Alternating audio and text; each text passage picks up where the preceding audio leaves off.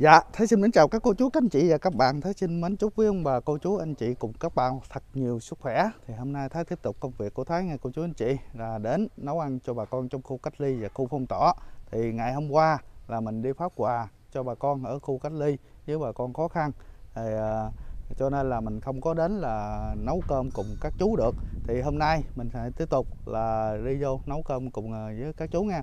Thì hôm qua thì mình được là hai ờ, chị mạnh thường quân ờ, ở hai nơi là hỗ trợ mỗi một người là một phần quà, là một tấn gạo thì hai người thì hai tấn gạo thì mình có kết hợp luôn là mình dùng cái số tiền quỹ mà bếp ăn của mình cô chú anh chị thì mình mua thêm là 100 thùng mì là để cho có cho bà con ở xa. Nói chung ra là cũng là trong khu vực huyện Châu Phú tại vì Bình Mỹ thì mình ở khu vực này thì mình hỗ trợ cũng hơi nhiều bà con hơi nhiều rồi. Thì cho nên là phát quà ở xa thì cho nên là mình kết hợp thêm là mình dùng cái số tiền quỹ này là mình uh, mua thêm 100 thùng mì để cho bà con. Thì mình mua một cho 100 thùng mì này, mình cũng có hỏi ý kiến là một số cô chú mạnh thường quân, họ cũng đồng ý. Thì ờ, hôm qua thì ờ, mình ờ, phát toàn bộ những cái phần gạo đó đó cô chú anh chị. Nói chung ra là hai tấn gạo 200 phần nhưng mà bà con hiện giờ ở hoàn cảnh khó khăn rất là nhiều, không có đủ đâu vào đâu hết đó cô chú anh chị. Thì cũng rất mong là bà con, cô chú anh chị cùng với các cô chú mạnh thường quân nào có lòng hảo tâm, hãy tiếp tục là giúp đỡ cho bà con ở vùng quê nha cô chú. Thì à, do cái tình hình dịch bệnh đó bà con họ gặp khó khăn, thì à, họ rất là cần cái sự hỗ trợ này. Nhưng lúc này là lúc quý báu nhất đó cô chú anh chị. Lúc này là hỗ trợ cho bà con là lúc quý báu là để cho họ có thể là vượt qua trong những lúc khó khăn hoạn nạn này nha cô chú anh chị. Thì uh, hôm qua ờ, là ờ, thì mình uh, có mình đi phát gạo và phát gạo cho nên mình không có quay mình không có công bố số tiền. Thì hôm nay mình xin phép chia sẻ và công bố cái số tiền quỹ của mình còn lại nha cô chú anh chị.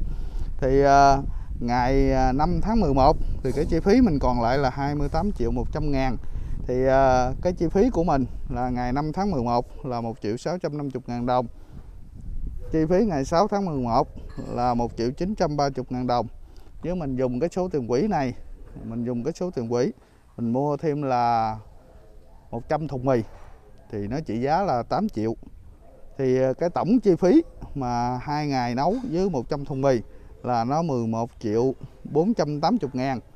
Thì cái tiền quỹ của mình là ngày 5 tháng 11 là 28 triệu 100 ngàn, mình trừ cho 11 triệu 480 ngàn thì hôm nay là ngày 7 tây tháng 11 là cái số tiền quỹ mình còn lại là 16 triệu 620 ngàn. Thì do cái tình hình bệnh dịch đó cô chú một ngày một phức tạp. Thì cái số phần ăn đó, nó một ngày một tăng lên. Thì hôm nay là mình nấu là đến là 200 phần rồi.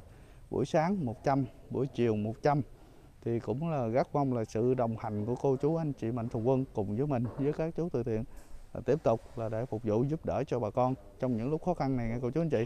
Thì bây giờ các chú đang nấu mình xin mời uh, cô chú anh chị cùng đi với mình đi vô để là hôm nay mình sẽ nấu một món là để uh, đãi cho bà con trong khu cách ly với khu phong tỏa nữa nha cô chú anh chị. Thì uh, buổi sáng thì 100 phần anh Phú quyết định là nấu cái món là thịt heo kho mặn. Tại vì á, thì một cái phần cơm là ở nhà cơm chay từ thiện thì người ta đã có nấu trong đó, gồm có là canh hay là đồ xào. Thì ở đây thì mình sẽ nấu những cái đồ mặn cho mình kết hợp vô. Nó nó nó nó không có phí những cái phần của những người nấu cơm chay nha cô chú. Thì cho nên là mình thường thường thì mình kho hay mình làm những cái đồ mặn kho xào đồ thôi à, cho bà con họ dễ ăn. Nó thì à, hôm nay thì anh Phước cũng à, tiếp tục như mỗi ngày nha. Thì nói chung ra là giúp đỡ bà con rất nhiệt tình tuy là khẩu khẩu xà nhưng mà cái tâm nó cũng rất là tốt khẩu xà tâm Phật tâm Phật ha. vậy cũng được tại vì bên đây thì các chú làm từ thiện nhưng mà ăn chay mặn đôi khi có những lời mà nói ờ, nói nó hơi, hơi chữ thầy đó cô chú anh chị thì các cô chú à. cái bụng không có vậy à, thì cô chú cũng thông cảm nha đó là những cái lời thật lòng thì cô chú anh chị biết rồi, từ ngày đầu dịch tới bây giờ nấu là tính ra là gần một tháng rưỡi rồi đó cô chú anh chị. Cũng rất mong là hôm đó là hết dịch đặng anh em ở đây là ăn mừng. Nhưng mà thực ra bây giờ thì không có hết được mà một ngày một nhiều. Thì cái tỉnh An Giang mình hiện giờ là nó đứng nhiều lắm cô chú anh chị, cũng ờ, đứng thứ ba, thứ tư gì cả nước rồi. Cho nên là bà con dùng quê nghèo, rồi dùng sâu dùng xa nữa, họ khổ lắm. Thì hôm trước thì mình phát ờ, 200 phần gạo nhưng mà 150 phần á, là mình đưa vô vùng sâu rồi là cái tổ đó là thuộc xã Ô Long Vĩ. Còn lại 50 phần là mình hỗ trợ cho các chú các bác từ thiện là từ thiện thuốc nam của chú bé mười rồi từ thiện các nhà của chú Ba lũ rồi từ thiện ở trong là xe cấp cứu trong bình chánh. Nó là cho nên là mình à, phải chia đều ra nhưng mà chia ra một người mười mấy hai chục phần đó thì cũng như là nước mà mưa mưa mưa mưa như là nắng hạn gặp mưa rào á cô chú anh chị. Nó của ít lòng nhiều của, thì cái đó cũng là rất là quý rồi của ít lòng nhiều. Nhưng mà một số người họ có rồi một số người họ không có họ lỡ hồi sinh mình thấy rất tội nghiệp. Nhưng mà cái danh sách đã có rồi thì mình hứa với người ta rồi mình đâu có thể là sớt bớt ra được cô chú anh chị. Thì cũng ờ, rất mong là cái sự đồng hành của cô chú anh chị à, các nhà hảo tâm có lòng hảo tâm hãy là giúp đỡ những phần quà ý nghĩa để cho bà con ở vùng quê nha cô chú anh chị.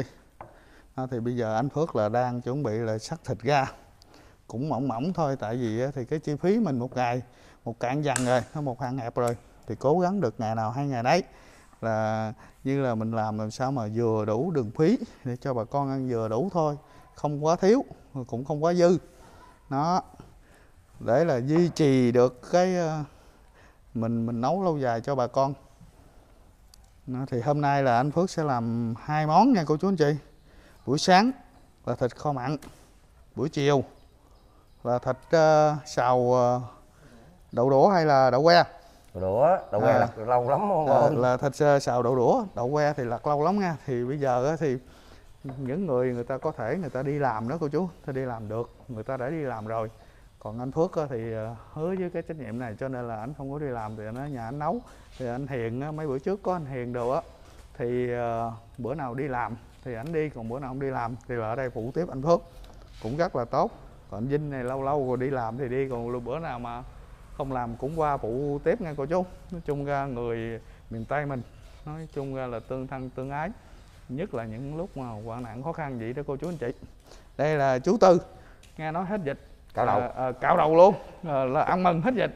Nhưng mà không ngờ dịch lại thì chú tư tiếp tục lại là vô phục vụ tiếp cho bà con nha. Được hả? Mà còn gì nữa là tóc lên lấy gai. Dạ, còn, dịch nữa, còn dịch nữa là tóc lên lai gai hả? Ờ, rồi hôm nay cũng có chú hai nữa nhưng mà hôm nay chú hai mà đi chích ngừa mũi hai. Thì cho nên là chú hai ờ, lột xong mấy củ tỏi đó rồi chú hai đi cô chú. Bây giờ là bắt đầu anh Phước sẽ ờ, sắc thịt xong rồi sẽ kho nghe cô chú thì sắc ra nhuyễn nhuyễn như vậy nè mới đủ. Thì thấy Xào cái phần này là nó cũng gần là hai chục ký thịt đó cô chú. Thì tính ra một người cũng là 50 gram à, một người 100 gram một buổi ăn là 200 phần đó. Cái này là kêu là ba chỉ phải không? Cái này á Ừ. này kế kế kế ba chỉ. Cái ba chỉ là bốn chỉ hay này hai chỉ? gần, gần tới năm chỉ lận. Năm chỉ. Nửa lượng rồi. Nửa lượng rồi phải không? Kế Nửa kế rồi. không? Ừ. À, thì uh, sắp gần rồi nha. Thì các anh cũng qua sớm lắm khoảng uh, 5 6 giờ thì đã có mặt rồi. Đang chuẩn bị làm đang cho bà con. Thấy gì chứ cũng sợ bà con đói mình cũng đâu có vui hết Phước trời ơi bà con đói mà mình cũng đói theo. Dạ.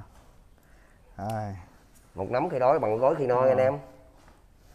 Trời buổi khó khăn mà. Thời buổi khó khăn. Đúng là chưa có khi nào mà khó khăn như lúc này hết cô chú anh chị ơi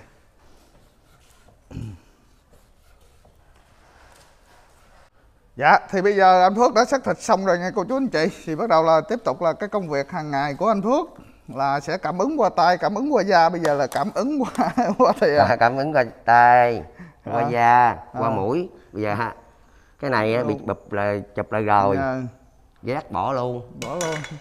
Ờ, cái mũi bị à, hử không cho. Rồi. bịch tì luôn. Bệnh luôn rồi giờ chuyển qua là cảm ứng qua tóc nha Cảm ứng qua tóc qua tóc trời sốc gì đó Rồi thì anh Phước sẽ ờ, chuẩn bị là ướp phần thịt này nha cô chú anh chị. Phần thịt này thì nó nằm ờ, khoảng 20 kg là hai buổi buổi sáng buổi chiều. Buổi sáng thì anh Phước là dự định là mình sẽ kho mặn phải không anh Phước? săn máu săn máu À, xào mạo là xào mặn là kho mặn xào mặn luôn nha. chiều sau đó đó Buổi chiều thì anh Phước sẽ xào đậu đũa, tất nhiên là đổi món cho nó ờ, lạ lạ để bà con là đừng có bị là ngán.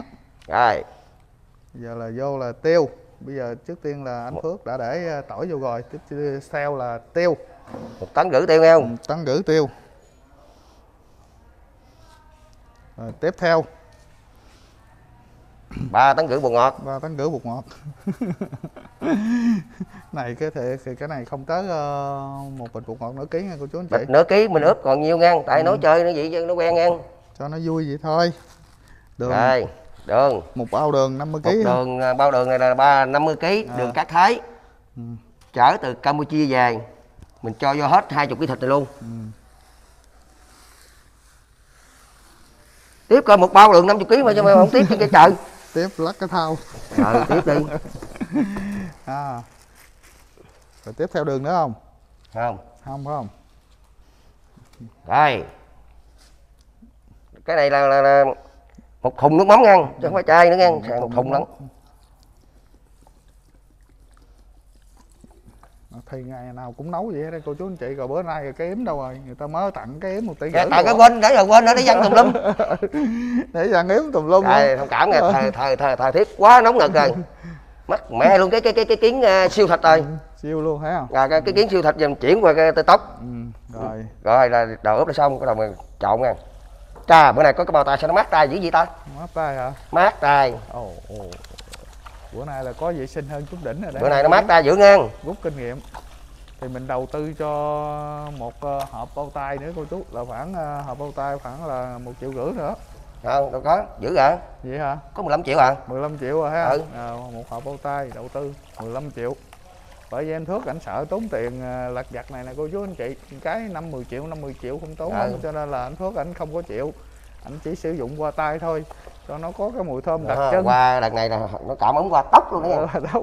Tóc bây giờ công trong tóc nó dựng lên thấy không? Nó dở lên gì nó dựng lên là, là, là biết là vừa đó quý vị cô chú thấy vậy anh Phước tiếu tiếu không này này này này này giờ giờ tóc có nước dựng lên nè dựng lên là dựng lên là vừa vừa ăn rồi đó. Đó bọt trắng hết trơn rồi. À. rồi đều chưa? Rồi xong. Hình như có bao tay bông mau hơn á. Ờ mau. trộn nó mau không sợ không sợ không sợ gì hết. Ờ không sợ khỏi cần cảm ứng quay da khỏi cần cả mũi luôn. Ờ.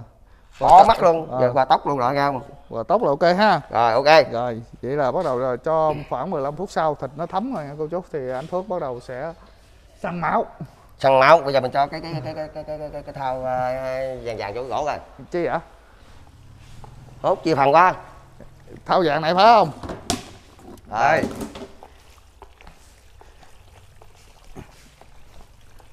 đây. Thằng nào ra nấy đây? Thằng nào ra nấy phải không? Ừ. rồi ok. Cân đúng không? Cân. Tấn gửi 3 tấn. 4 tấn gửi 6 tấn 6 tấn.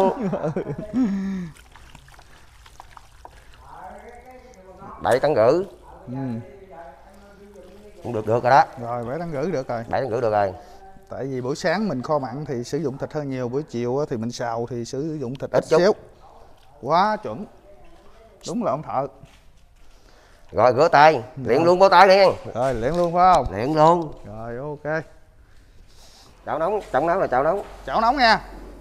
Thì uh, hiện giờ thì uh, hôm nay thì anh Phước uh, đã đầu tư thêm một cái chảo nữa nha. Cô chú anh chị. Mới đầu tư cái chảo này hai tỷ rưỡi nha. À, cái chảo thêm hai tỷ rưỡi bay về bên uh, Quảng Châu bánh là, là mượn của bà cả đó nha. Chết. Ừ. trái luôn dạ lên dạ lên dạ lên. Dạ chảo lên. Hồi nào tới giờ mình chưa làm này nha cô chú anh chị. Buông đại xuống cái gì rồi cái nhạc luôn rồi cái gì mà tát cái gì mà tát đồ nấu của quảng châu. Ô đúng là cái chảo nghề luôn đó. Hôm nay chơi lớn luôn đó. Đó cái chảo nghề tôi là vậy đó. À, hôm nay là nấu chơi lớn luôn nha cô chú anh chị. Vô rồi vô rồi vô rồi. Không lắc được. Vô rồi sao lúc có lửa mà không ra là à. quay lên. Tưng bừng có lửa rồi chơi. Tưng bừng có lửa mà. Bừng bừng mà. Có chứ sao không? Trời. vô vô sao vô? Vô luôn vô luôn. Đó thợ nấu người ta là phải nấu như vậy nó mới đúng là thợ nấu đúng bài. Mấy chảo nghề người ta về nó, ừ. nó, nó lên được.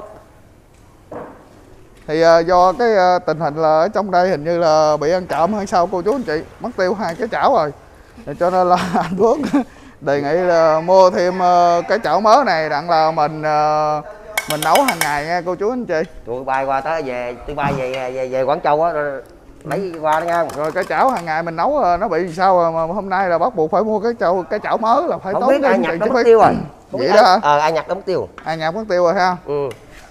Trời ơi trời cái đồ trong từ thiện mà nó cũng ăn trộm nó lấy cho được nữa trời. Rồi phá cửa lại mới được. Phá cỡ lại mà được ha thì cái này mình cũng phải tốn thêm như là chi phí chút đỉnh gì đó cô chú. Rồi mua chảo mua đồ để nấu. Thì có sẵn trong đây rồi bị ăn trộm lấy rồi phải mua chảo mà chứ sao bây giờ?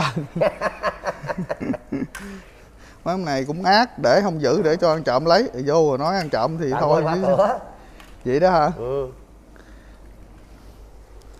Đó, thì bây giờ là anh Phước ờ, chuẩn bị là xào xào mặn nha cô chú. Nó xào đi xào đi. Chưa từ từ cho nó săn thịt chứ. Săn thịt nữa ha. Ừ. Bữa nay là đầu tư thêm cái chảo này là khí thế luôn á. Mai mốt cái chảo này giữ nha đừng để chạm lấy nữa nghe cha. À, để vô cái, tôi- cái, cái, cái chết sắt tôi, tôi, tôi cắt mới được. Ờ. Có cái chết sắt bự lắm. Tại vì cái chảo này là cái tiền của mạnh thường quân mình đừng có để mất ừ. À. đầu tư tôi từ quảng châu mà tôi đem máy bay chở về đó. Mất cái máy bay mấy tỷ ừ.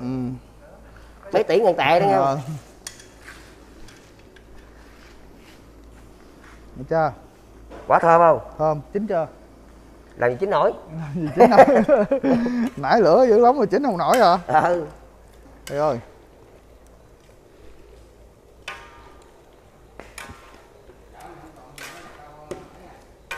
Dạ. Dạ.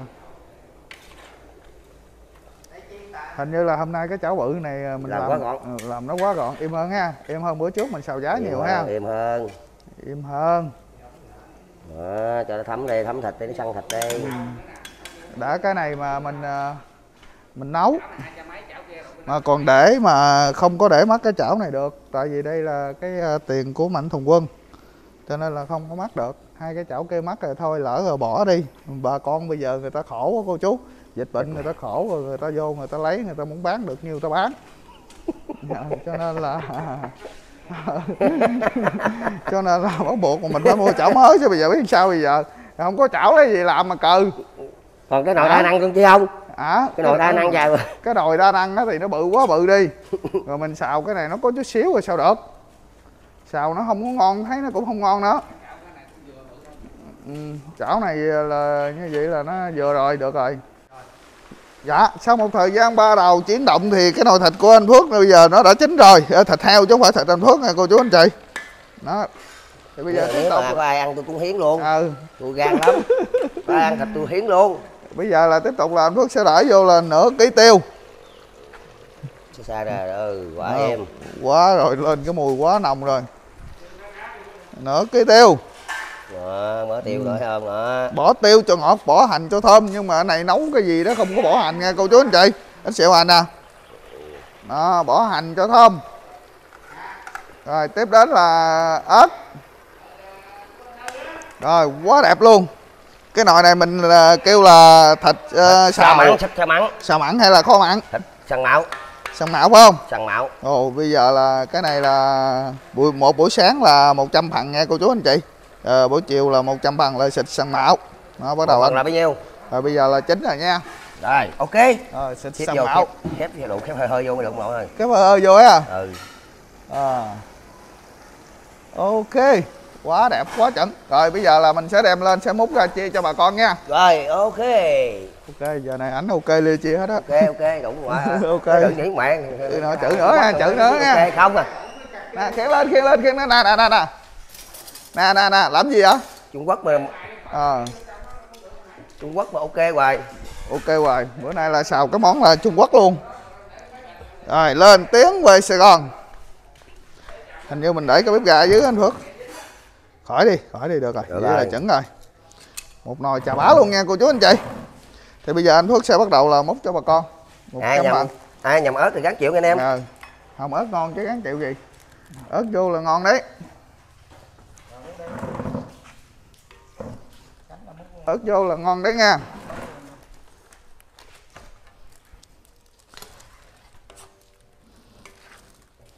đây thì một phần nó như vậy nè cô chú nó kết hợp với là một phần à, chai nữa thì quá đẹp rồi không không không không không đóng đi không đóng ha rồi không đóng luôn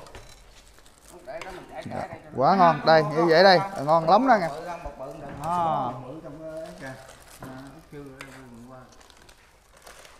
quá em cái này múc à, rất là lẹ rất là mau luôn. Thì uh, trong đây uh, mấy anh với mấy chú nói là nếu như mà thịt không á thì nó không có ngon nha cô chú anh chị. Là phải là có có ba gỏi có mỡ đồ có chơi gắn gỏi, đồ có hết mỡ rồi có găng đồ nó mới ngon. Phải không? Cũng như là ăn cơm thì phải có thịt có thà ha. Ăn nhậu có đàn bà nó mới vui. À, ăn nhậu thì có đàn bà mới vui. Đúng bài của là lưu minh tự. Làm trai cho láng thân trai. Ừ. Lúc còn mạnh khỏe chứ ba ông bà. Còn khi ờ, sức khỏe tuổi già. Bà này lỡ bỏ chúng còn bà kia. Đúng là lưu manh tự nghe cô chú. Lưu manh á. Bởi tôi nói vậy tôi cũng được ờ, là ba ba ba chục bà thấy không? Ba chục bà. Còn mấy ông không biết phòng khi sức yếu tuổi già đó bà này lỡ mất cũng còn bà kia. Thì uh, buổi bị đông quá nó chữ lộn nó đi bỏ bớt á. Ừ, đông quá đi bỏ bớt à. Bỏ vô hai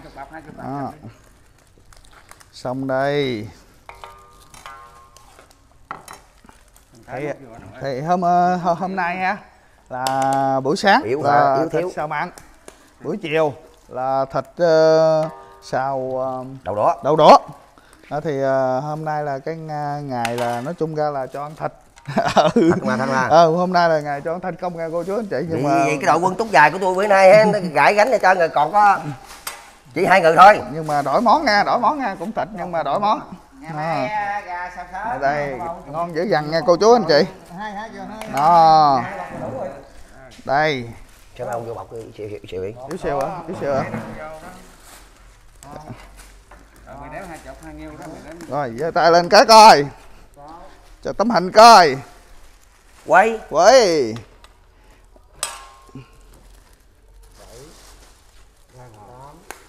Thế thì lấy nước làm canh nha. Ờ cho vào bột ngọt thì nó ngon tuyệt vời. Rồi thì xong. Thì ờ, bữa nay là xong một bữa nữa nha cô chú anh chị. Cũng ờ, rất mong là dịch nó mau hết để bà con mình là được tới lui thuận tiện để đi làm ăn. Chứ cú này khó khăn hoài á thì ờ, không có khả năng nào mà mình hỗ trợ hoài được nha cô chú anh chị. Cũng rất là mong là cái sự đồng hành của cô chú anh chị tiếp tục giúp đỡ cho bà con trong khu cách ly với không phong tỏa thì ờ, video mình hôm nay đến đây cũng ờ, xin phép được kết thúc nha. Cô chú anh chị xin chào và hẹn gặp lại các cô chú anh chị vào một video tiếp theo nha. Xin chào chào con chào chào chào